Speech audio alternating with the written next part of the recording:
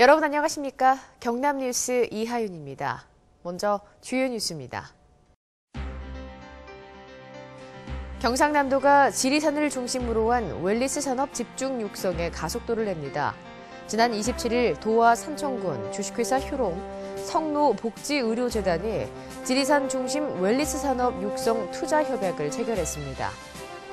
지난 26일 여성 농업인의 농촌사회 발전과 화합 도모를 위해 제11회 한국 여성 농업인 경남도 대회가 열려 여성 농업인의 화합과 기상을 펼치는 축제의 자리가 됐습니다.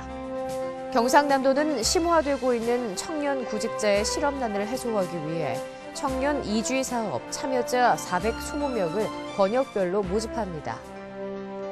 경상남도 항로화 산업의 정책 자문 기구인 경남 항로화 산업 발전 위원회가 지난 28일 발대식을 갖고 앞으로 본격적인 활동에 들어갑니다. 첫 소식입니다. 경상남도가 지리산을 중심으로 한 wellness 산업 집중 육성에 가속도를 냅니다.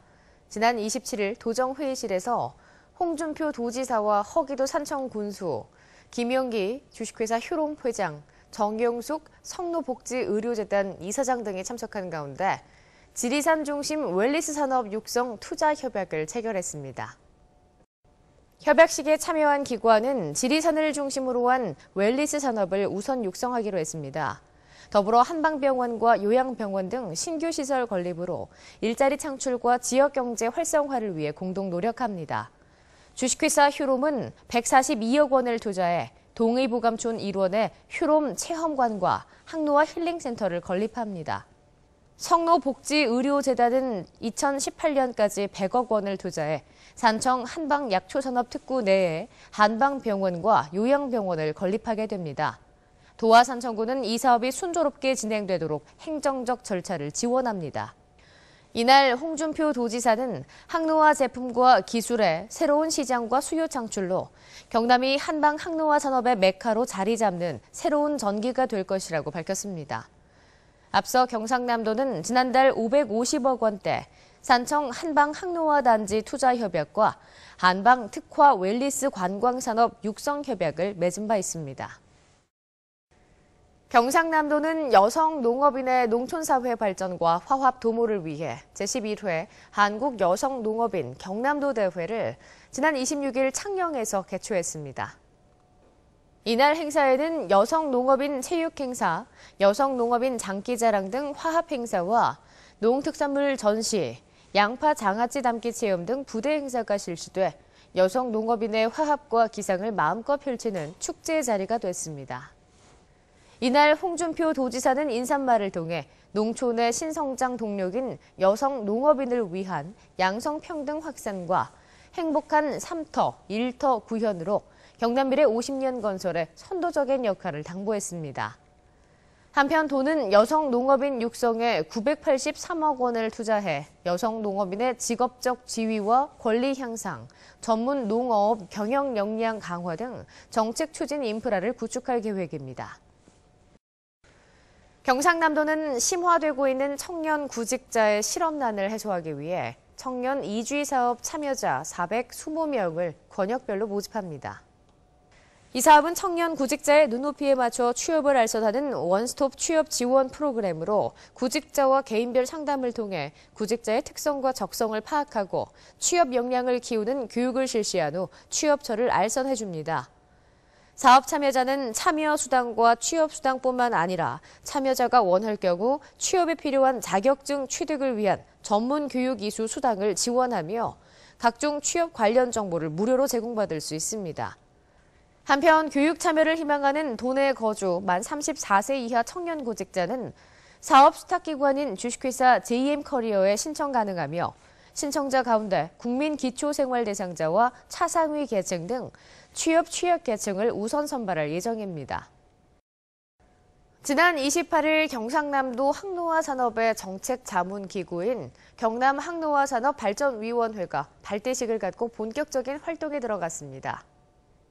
자문위원회는 산업별 4개 분과와 산업별 분과를 연계 조정할 기획조정 분과 등 총 5개 분과 34명으로 구성돼 항로화 산업과 관련된 자문 활동을 하게 됩니다.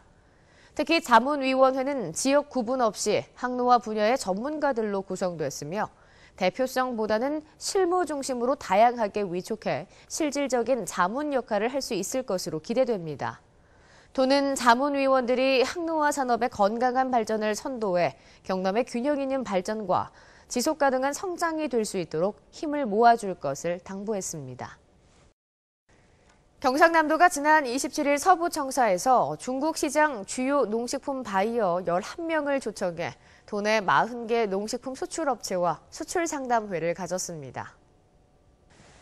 이번 수출 상담회는 한중 FTA 발효 후 두 번째로 세계 최대 식품 소비 시장인 중국 시장을 집중 공략해 일본 중심의 수출선을 다변화하기 위해 마련됐으며 초청된 바이어와 도내 수출업체의 1대1 상담 방식으로 이루어졌습니다. 이날 상담회에 참가한 바이어들은 기능성 식품과 건강 음료 등에 많은 관심을 보였으며 도내 수출업체 26개 업체와 615만 달러의 수출입 의향서를 체결해 앞으로 세부 협의를 거쳐 수출로 이어지게 됩니다. 도는 5월 말과 6월 중순 두 차례에 걸쳐 중국 바이어를 초청하는 수출 상담회를 열 계획이며 5월과 8월, 9월에는 중국에서 해외 판촉전을 개최해 중국 시장을 집중적으로 공략해 나갈 계획입니다. 경상남도가 5월 1일부터 14일까지 봄 여행 주간을 맞아 가족 등 소중한 사람과 함께할 수 있는 여행 주간 프로그램을 운영합니다.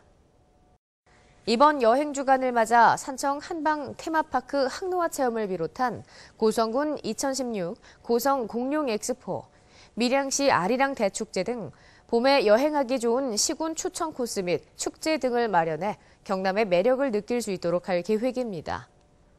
또한 이번 여행 주간에는 주요 관광지에서 최대 50% 할인과 더불어 도내 34개 숙박업에 대해서도 최대 30% 할인하는 등 경남 지역 95개 업체에서 다양한 할인이 진행됩니다.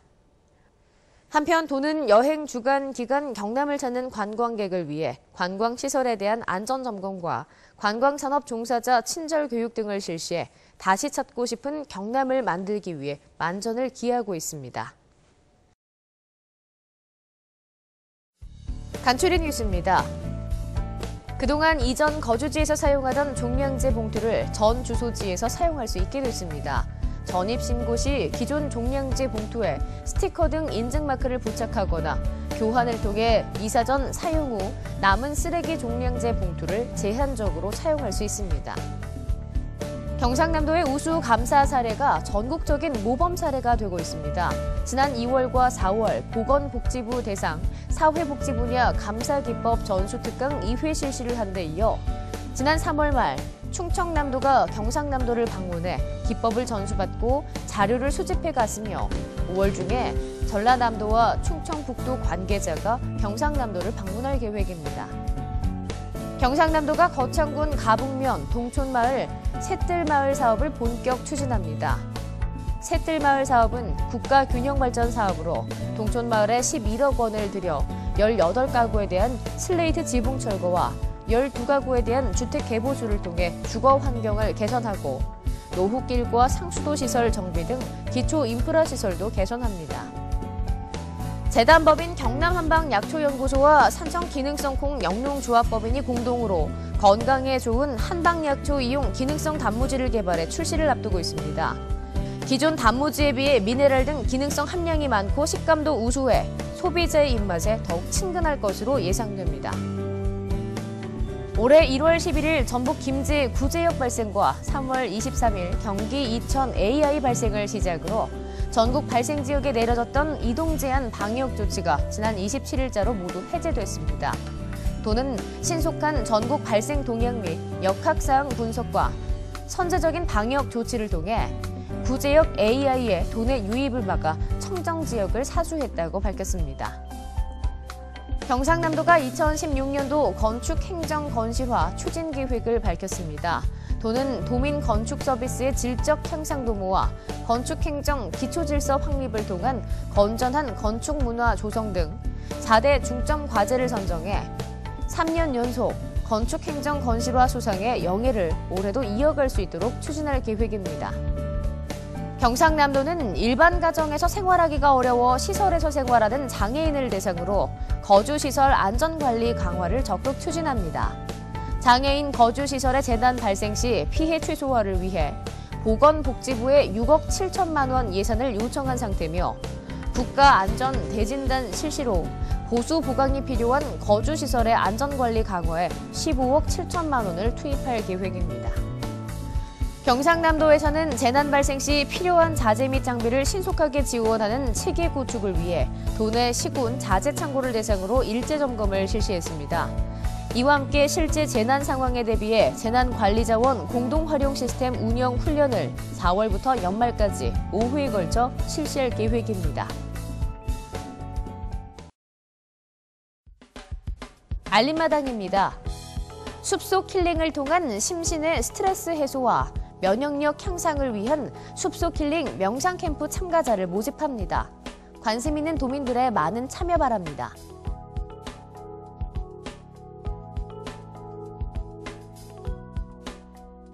서부청사 개청의 상징성과 그 가치에 대한 범도민적 공감대를 형성하기 위해 서부청사 개청 전 진주 소재 도청 시절 등 옛 사진을 공개 모집합니다. 우리의 소중한 자산을 찾아 널리 알릴 수 있도록 도민 여러분의 적극적인 참여를 부탁드립니다.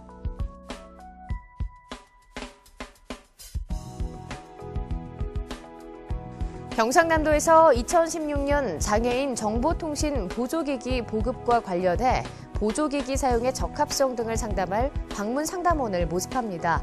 도민 여러분의 많은 관심 바랍니다.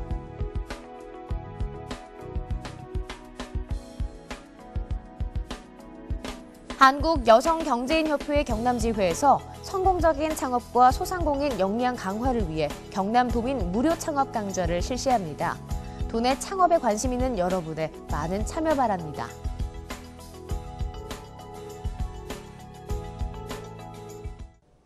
이상으로 경남 뉴스를 마칩니다. 함께해 주신 여러분 고맙습니다.